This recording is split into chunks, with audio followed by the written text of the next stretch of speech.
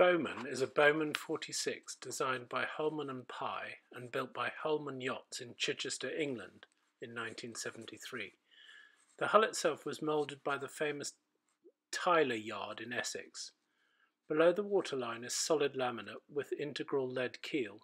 Above, and the deck is foam sandwich. This creates a well insulated and stiff yacht. Bowman is a dream to sail. She has sweet lines and an easily driven hull. She is easily single handed or sailed two up. All the reefing lines are brought back to the cockpit. She has a roller furling genoa as well as removable inner forestay to hank on either a Solent jib for windward work in strong winds or a high cut working jib that reefs to storm's jib size. There are three reefs in the mainsail. She obviously carries a spinnaker and pole for running downwind. I love the yawl rig. It's great for manoeuvring under sail or to keep the boat steady in a rolly anchorage, as well as to fly a mizzen staysail on a broad reach. In all sailing conditions, Bowman is superb. She is fast in light airs and medium as well as strong winds. Relative to other yachts of more modern design, she generally slips by, leaving them far astern after a few hours, especially when we beat up wind.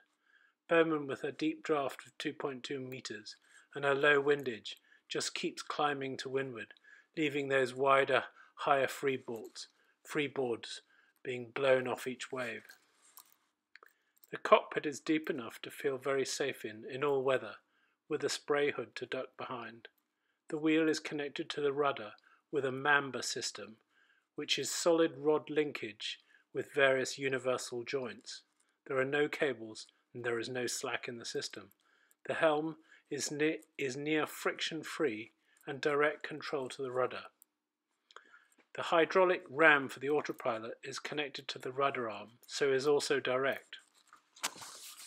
She has a superb Lofrans leopard windlass that is fast and powerful with both foot pedals or remote radio controlled handheld, handheld controller. This is great for single handing in the Mediterranean when one must go stern to the quay. The 70 metres of 10mm chain self stacks and does not require knocking down as on many boats. Bowman is greatly admired wherever she goes. She is one of those boats that you just have to turn back at and have one more last look. The quality of her original construction was such that she really is an easy boat to maintain. Having said that, she had a major refit in 2001, comprising new teak deck, new booms and deck hardware, but her original winches, new standing rigging, but original spars, new stanchions and pushpit pulpit, new Beta Marine 50 horsepower engine with now 9, 1950 hours on it, extra 24 volt 100 amp domestic bank alternator, new windlass, new radar, VHF, new B&G instruments, and autopilot. This was a very expensive refit. Since then, she has had a complete new suit of sails, sail covers, new diesel heating system, paint job, new GN Espace cooker, the Rolls Royce of cookers, new prop shaft and feathering propeller, as well as a new upholstery, interior varnish, paint, new Lavac loos, new frigoboat fridge compressor with keel cooler, as well as a, as well as a holding tank system for the forward head. She has great tankage, 750 litres of water and 350 of diesel. Fuel consumption varies from 2 to 3.4 litres per hour. If it is calm and you throttle back to 1500, she will make 5.5 knots and burn 2 litres an hour. Conversely, if you run at 2200, she'll make 7 knots but burn through 3.4 litres an hour. We have on occasion come up against some rough weather. In particular, we were beating up the English Channel into a northeast force 7 with a fair spring tide. The tide off start point was a good three and a half knots against that strong wind. Bowman was wet, wet, very wet, going straight through the seas. Unfortunately, our life raft was washed off its mount just forward of the mast. Somehow I managed to heave to and rescue it. At that moment, I decided that when that old life raft needed to be serviced, I would replace it with a new one in a valise and store it below out of the elements, dry and safe, where it could not be stolen or damaged or even, indeed lost in heavy weather. Once we were hove to, she was remarkably dry, so much so that we decided to just let the tide carry us round the headland whilst jogging along under a double reef main and a backed working jib. She would just crab along at about a, a knot, fifty degrees or so off the wind. After a coffee and a change of clothes, we were off again to slog our way up the channel. Frankly, I would argue that few modern yachts would be capable of sailing upwind in such conditions. Certainly not the cheaper, mass produced floating caravan type. I do not re refer to the high quality yachts, such as the Hallberg Rassys or Amels of this world. Generally speaking, I can honestly say that we have set out some very heavy gales at anchor without problem, and only one or two gales at sea without undue concern. We have, however, knowingly left harbour or anchorage and sailed into winds of 7 on many occasions. This is because we feel safe in Bowman in those conditions. Even going upwind into 35 knots is tolerable.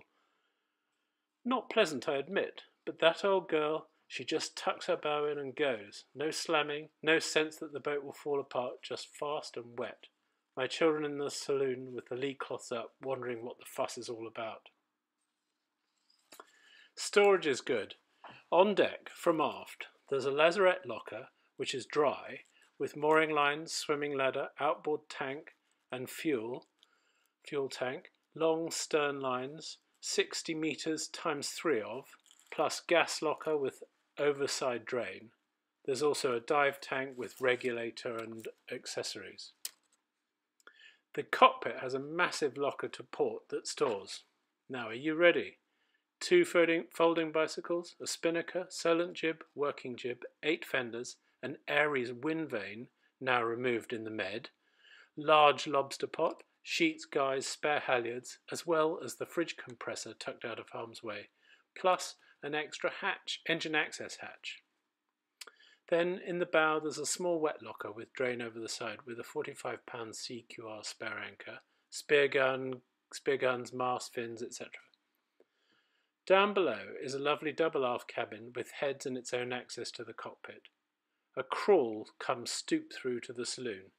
Here is the tool store and battery compartment outboard and a diesel heater. Then into the saloon, a standing chart table to starboard. There is no seat, unfortunately, a shame, yes, but as ever, a compromise.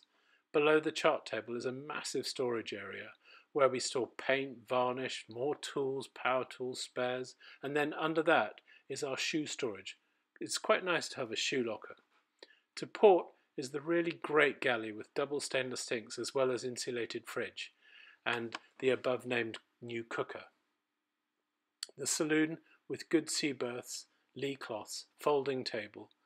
Up forward a head on the port side with a shower, hanging lockers to starboard, and a double V berth forward.